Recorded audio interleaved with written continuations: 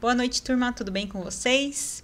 Dando então continuidade à nossa aula do, bioquímica do líquor, não liguem os barulhos se vocês estiverem né, escutando aí, tem o pessoal na construção. Mas, é, dando então continuidade à nossa aula, eu vou estar explicando para vocês todo o processo tá, da produção desse líquor. Então, primeiro vamos conhecer cada parte né, que é responsável por essa produção. Nós temos aqui então os ventrículos laterais, tá? Vamos ter o terceiro ventrículo, que fica aqui.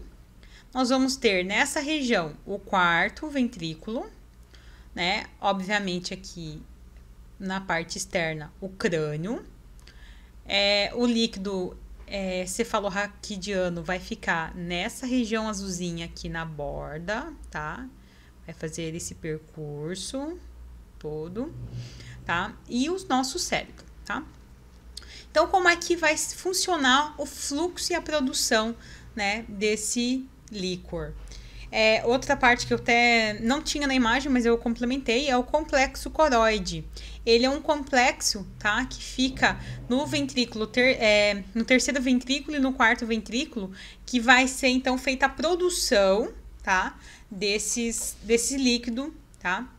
É, o líquido então é produzido nessa região e nessa região, que é isso aqui, ó. Tá vendo esse rosinha aqui? Esse é o complexo, tá? Coroide. Então, ele vai ser produzido né, nessas regiões e ele vai, então, fazer esse percurso, vai descer até aqui, esse próximo complexo coroide, aqui na, no quarto ventrículo, tá?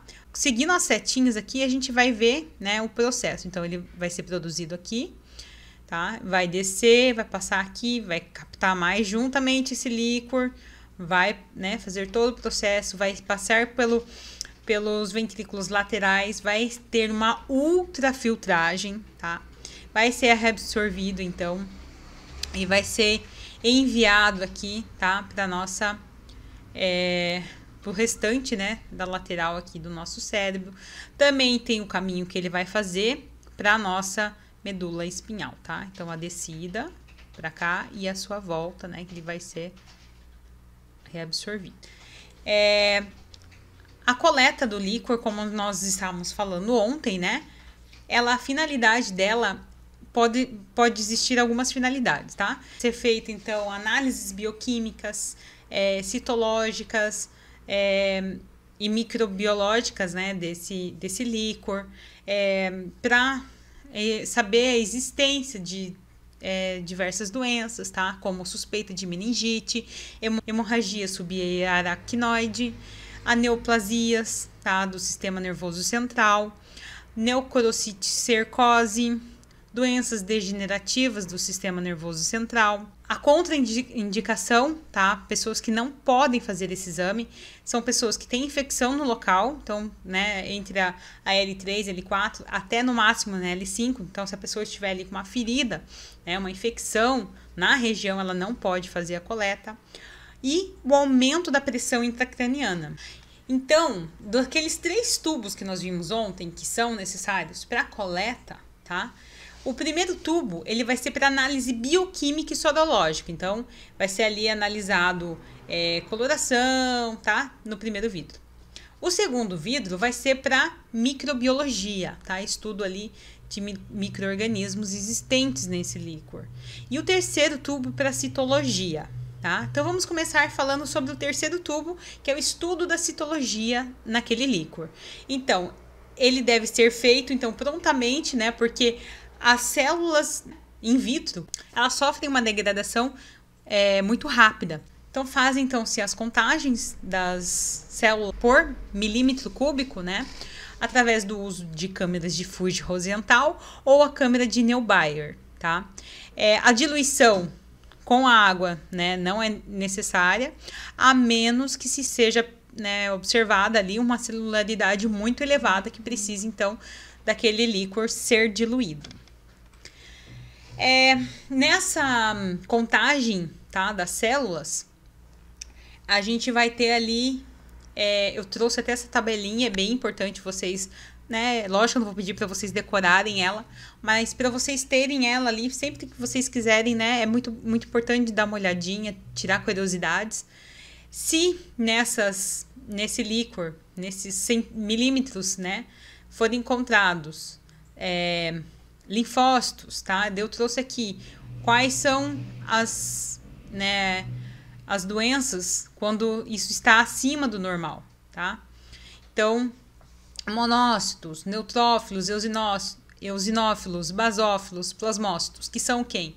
São os leucócitos, né? Então, todas esses, é, a presença desses leucócitos é, em quantidades anormais dentro né, desse líquor, ele pode estar, então, determinando esses tipos de doenças. Então, agora a parte microbiológica, que é a, o segundo frasco, pode ser feito, então, através de GRAM, que então pode determinar né, o tipo da etiologia, através de látex, que vai mostrar os antígenos bacterianos, por cultura, que também pode identificar então os germes mais frequentes nas meningites bacterianas.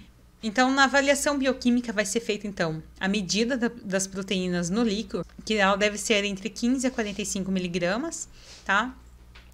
É, a maior parte, então, das proteínas, elas vão ser encontradas provenientes 80% no, no plasma e o restante produzido no sistema nervoso. É, normalmente, a predominância das proteínas vão ser pré-albumina, albumina e transferrina. Então, eu trouxe aqui para vocês os tipos de proteínas que são encontrados, tá?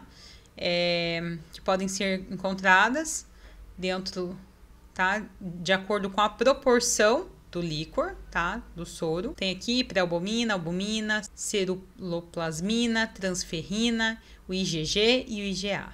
Okay? Então, a quantidade elevada de proteínas no líquor vai originar, então, aumentada barreira hematoencefálica, então vai ter a produção de imunoglobinas no sistema nervoso central, a redução da depuração das proteínas normais do líquor e a degeneração do tecido neural, tá? Então, tudo que em excesso acaba originando coisas, né, distúrbios neurológicos que podem, né, alterar todo é, o nível proteico do líquido cefalorraquidiano. Outra tipo de avaliação bioquímica é a glicorraquia, tá? É onde é medido então os níveis de glicose no líquor, tá? Então, a entrada do LSR por transporte seletivo, valores normais são de 60% a 70% da glicose. Tá? O sangue para o exame deve ser colhido pelo menos duas horas antes da punção espinhal. As amostras devem ser analisadas imediatamente e um aumento de glicose é sempre um resultado de elevações plasmáticas. Então, níveis baixos de glicose com níveis altos de neutrófilos vão indicar meningite bacteriana. Níveis baixos de glicose e níveis elevados de linfócitos vão indicar meningite tuberculosa.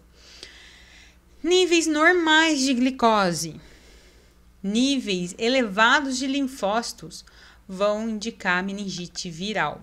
Podem ser também analisados, tá? Como indicador de meningites, a presença do lactato. Tá? Então, tendo ali lactato, a produção superior a 25 miligramas de lactato pode estar então determinando as meningites bacterianas, tuberculosas e fúngicas. Também a redução do fluxo de oxigênio e hemólise.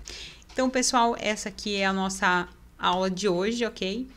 É, se ficou alguma dúvida, não esqueça de perguntar ou manda para mim um e-mail, tá?